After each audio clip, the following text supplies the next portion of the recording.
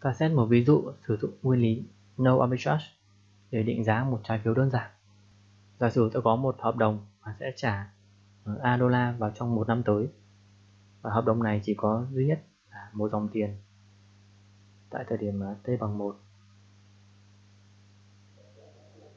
có một dòng tiền đó là bằng A. Và ta muốn xác định giá trị của hợp đồng tại thời điểm T bằng 0 ta có giả định đó là ta có thể vay và cho vay với cùng một lãi suất là R phần trăm một năm. Trước tiên ta xây dựng một cái danh mục đầu tư như sau.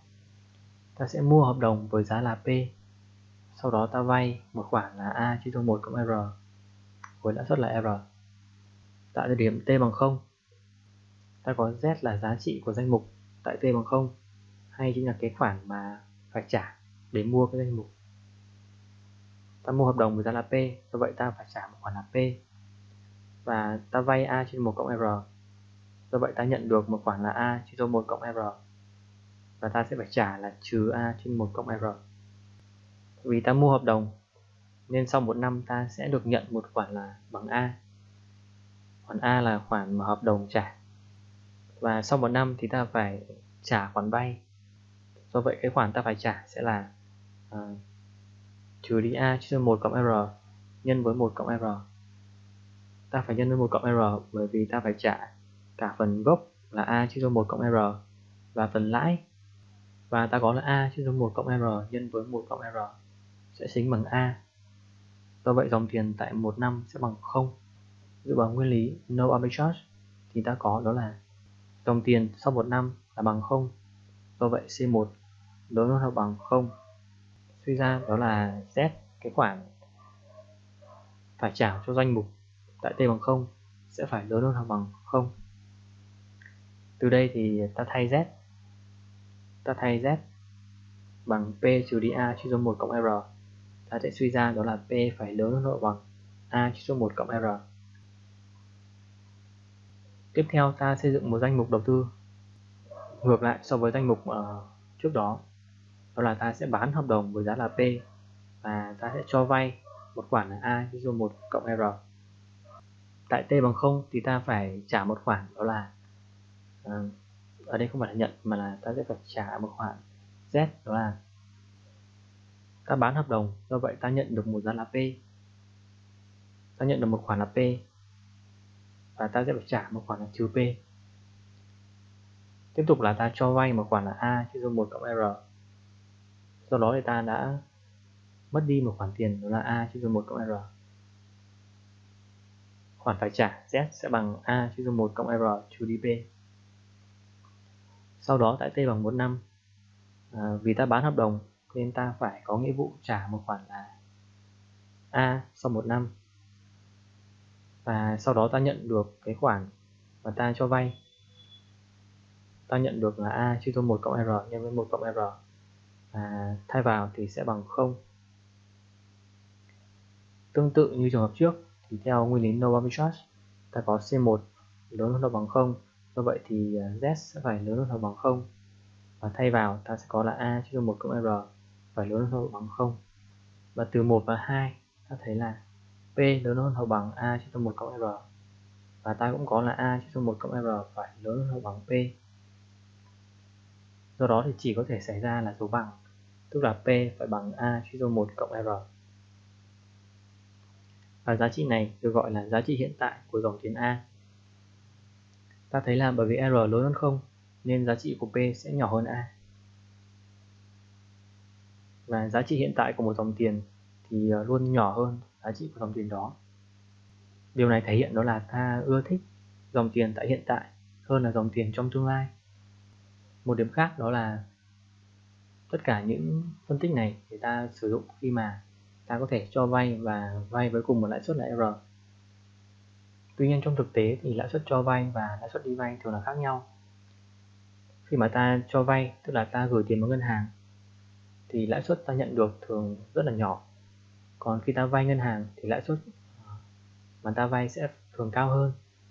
Khi đó dựa vào nguyên lý no overcharge thì em có thể chứng minh đó là phái trị của P sẽ có cận dưới là A chia cho 1 cộng RB và cận trên là A chia cho 1 cộng RL chúng nối GB là lãi suất đi vay và GL là lãi suất cho vay và RL thường là lớn hơn GB.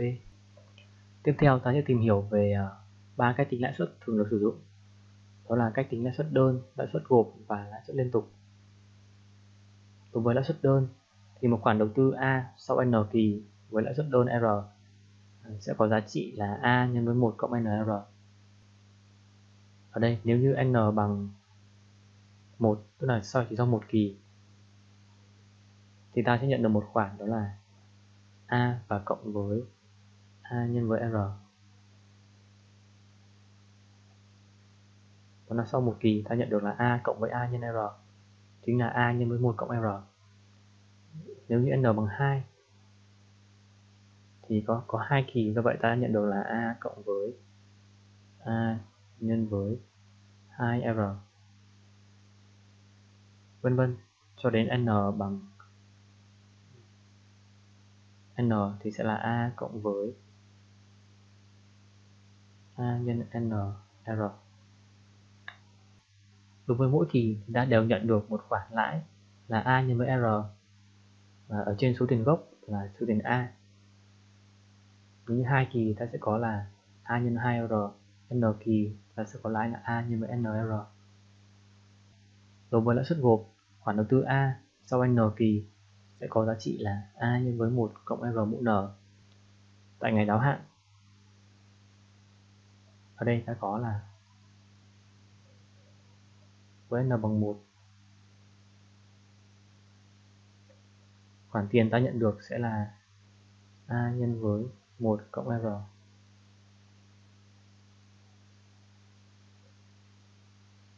Với n bằng 2 phần lãi tại kỳ thứ hai sẽ được tính. Trên phần gốc là, phần gốc mà ta đã gộp tại kỳ thứ nhất. Không giống như trường hợp mà lãi suất đơn là phần lãi ta đều tính trên khoản đầu tư ban đầu, khoản A, đối với trường hợp lãi suất gộp. Sau một kỳ ta sẽ gộp cả phần lãi và phần gốc và ta tính phần lãi ở trên toàn bộ phần gốc sau kỳ thứ nhất. Vậy tại uh, t bằng 2 thì ta có khoản à, gốc sẽ được gộp là a nhân 1 cộng r. Và ta nhân tiếp với 1 cộng r. Do vậy tại n bằng 2 thì khoản đầu tư ta nhận được sẽ là a nhân với 1 cộng r mũ 2 vân vân đến thời gian n thì ta sẽ nhận được là a nhân với 1 cộng r mũ n đối với lãi suất gộp thì sau từng kỳ, phần lãi sẽ được gộp vào phần gốc và ta sẽ tính phần lãi ở trên phần gốc mới. Một chú ý đó là lãi suất thường được đặt theo lãi suất năm. Tuy nhiên thì kỳ gộp lãi có thể là nhỏ hơn một năm. Tức là ta có thể ờ, gộp lãi hai lần một năm, tức là 6 tháng một lần, hoặc là gộp lãi 3 lần một năm. Cứ 4 tháng ta gộp lãi một lần. Giả sử ta có m kỳ tính lãi trong một năm. Với lãi suất là r phần trăm một năm, thì lãi suất một kỳ sẽ được tính là R chia cho M. Khi đó ta thay lãi suất một kỳ là R chia cho M vào trong công thức ở đây. Ta thay R bằng R chia cho M. Đây là lãi suất của một kỳ và ta sẽ tính ở trên Y nhân với M kỳ. Ta có Y năm và ta nhân với M kỳ của năm và Y nhân với M sẽ là số kỳ mà ta tính lãi. Trường hợp cuối cùng đó là lãi suất liên tục. Đó là khi số kỳ tính lãi được tiến tới vô cùng. Ta có thể hiểu đó là bất cứ khi nào ta có một khoản lãi, thì ta gộp luôn vào khoản gốc và tính phần lãi trên khoản gốc mới đó. Và số kỳ m sẽ tiến tới vô cùng. Và khoản đầu tư khi đó, ta thay công thức vào đây. Và ta xác định giới hạn khi m tiến tới vô cùng. Và giới hạn này sẽ được chứng minh được là sẽ bằng a nhân với e mũ r nhân với y trong đó y đó là số 5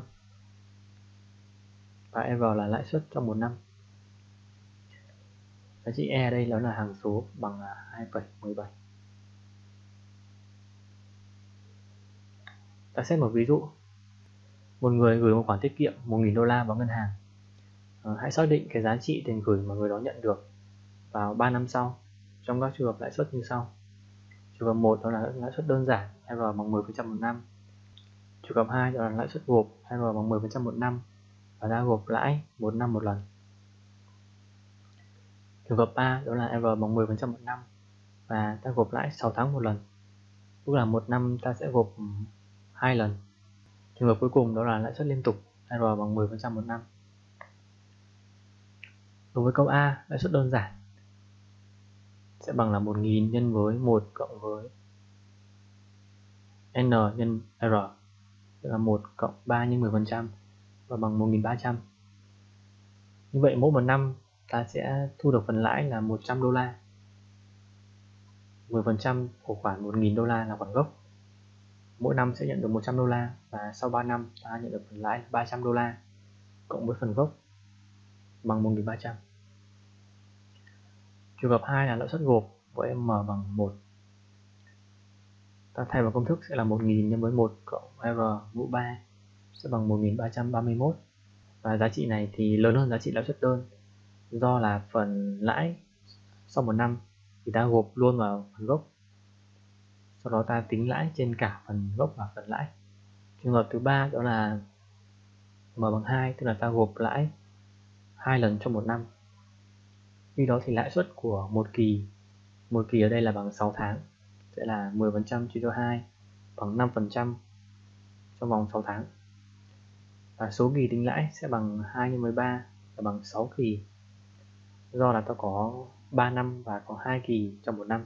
Tính ra thì sẽ bằng 1340 trường hợp cuối cùng là lãi suất liên tục sẽ là 1.000 nhân với e mũ R nhân T và bằng 1.350 đô la ta thấy là số kỳ gộp lãi càng lớn thì số tiền thu được trong tương lai càng lớn.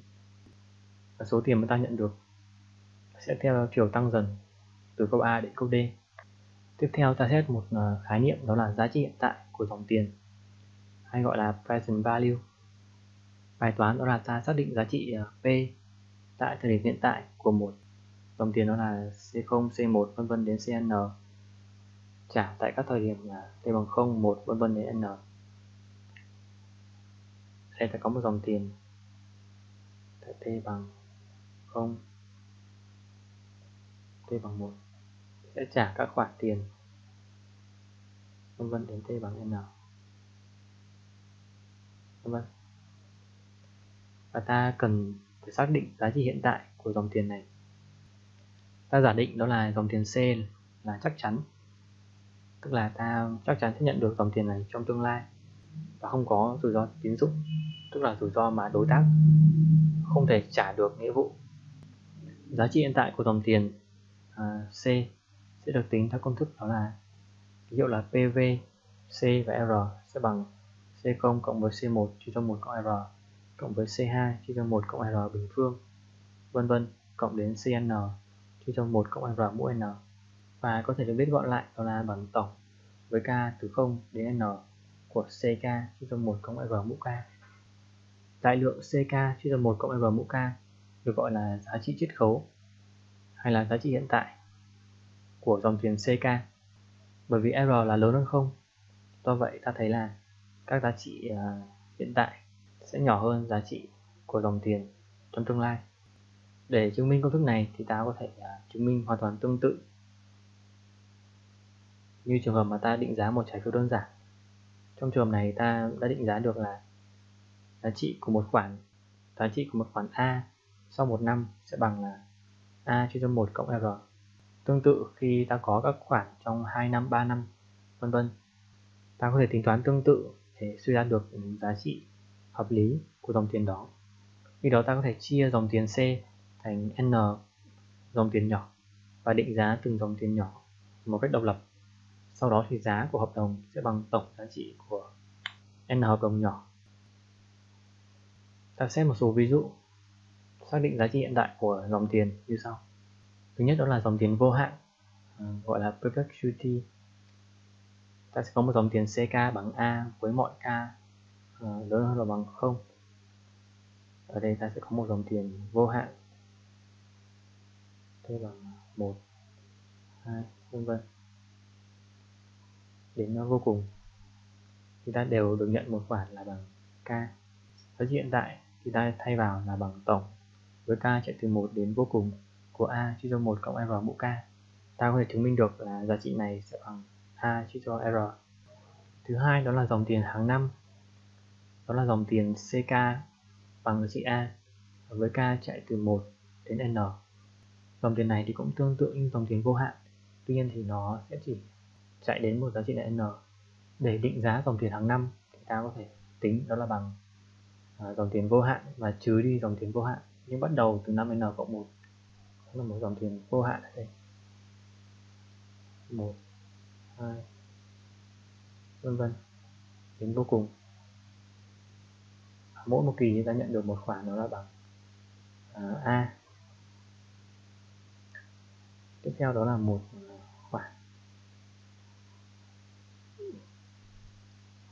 tiếp theo đó là một dòng tiền mà bắt đầu từ 5n cộng 1 n cộng 2 vân vân. Và cũng tiến tới vô cùng.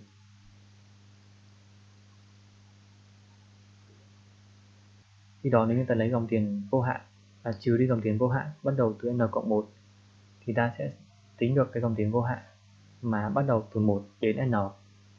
Do đó, giá trị hiện tại của dòng tiền hàng năm sẽ bằng giá trị hiện tại của dòng tiền vô hạn trừ đi giá trị hiện tại của dòng tiền vô hạn bắt đầu từ n cộng 1. Giá trị hiện tại của dòng tiền vô hạn ta đã tính được vào câu trên đó là bằng a cho r. Đối với dòng tiền vô hạn bắt đầu từ 50n cộng 1 ta thấy là dòng tiền vô hạn bắt đầu từ 50n cộng 1 thì tại thời điểm t bằng n nó sẽ có giá trị à, là bằng a chia r đó chính là giá trị của dòng tiền vô hạn. Nhưng khoản a chia cho r ở đây, đó là một khoản giá trị tại thời điểm n. Chứ không phải là khoản giá trị tại thời điểm ờ, t bằng 0 không phải là giá trị tại thời điểm hiện tại. Do vậy ta cần phải chiết khấu khoản a chia r ở đây ờ, về giá trị hiện tại bằng cách đó là nhân với 1 chia cho 1 cộng r mũ n. Và ta thấy biểu thức ở đây thì đều có a chia cho r. Do vậy ta có thể đặt a chia cho r ra ngoài. Và nhân với 1 trừ đi 1 chia cho 1 cộng r mũ n. Ví dụ cuối cùng đó là ta sẽ tính giá trị hiện tại của một trái phiếu coupon. Trái phiếu coupon là trái phiếu mà sẽ trả được các khoản như sau. Trái phiếu coupon sẽ trả các khoản đó là tại thời điểm t bằng 1, 2 vân vân đến n. Nó sẽ trả các khoản là uh, lãi suất coupon nhân với giá trị mệnh giá C nhân với F và đến thời điểm đáo hạn thì sẽ trả một khoản lãi suất coupon và sẽ trả luôn khoản gốc là khoản F. Ta thay vào công thức uh, chiết khấu dòng tiền thì giá trị của P sẽ bằng uh, tổng K bằng 1 đến N của phần lãi suất coupon C nhân với F. Chia cho 1 cộng R mũ K. Và ta phải cộng thêm với khoản chiết khấu của phần mệnh giá đó chính là phần ờ, gốc trả tại kỳ thứ n. Cộng với f chia cho 1 cộng r mũ n. Ta thấy khoản ờ, đầu tiên ở đây, dấu cộng ở đây. Đó chính là cái dòng tiền hàng năm. Mà mỗi năm sẽ trả một khoản là c nhân f khi đó ta có thể thay vào công thức ở đây. Thì ta sẽ được đó là c nhân f chia cho r nhân với 1 trừ đi 1 chia cho 1 cộng r mũ n. Và cộng với phần chiết khấu của mệnh giá f một điểm cần lưu ý đó là trong các uh, ví dụ ở đây ta đã giả định là dòng tiền C là chắc chắn. Tức là ta chắc chắn nhận được dòng tiền C tuy nhiên đối với một trái phiếu doanh nghiệp bình thường thì sẽ có một rủi ro đó là sẽ trái phiếu sẽ không trả được nợ. Người phát hành trái phiếu là một công ty bị phá sản và không trả được nghĩa vụ. Ta sẽ phải chiết khấu với một lãi suất là cao hơn so với lãi suất phi rủi ro. Lãi suất phi rủi ro R đây là lãi suất khi ta gửi tiền trong ngân hàng. Do trái phiếu là có rủi ro, do vậy ta cần phải chiết khấu với một lãi suất cao hơn, và khi đó giá trái phiếu sẽ nhỏ hơn.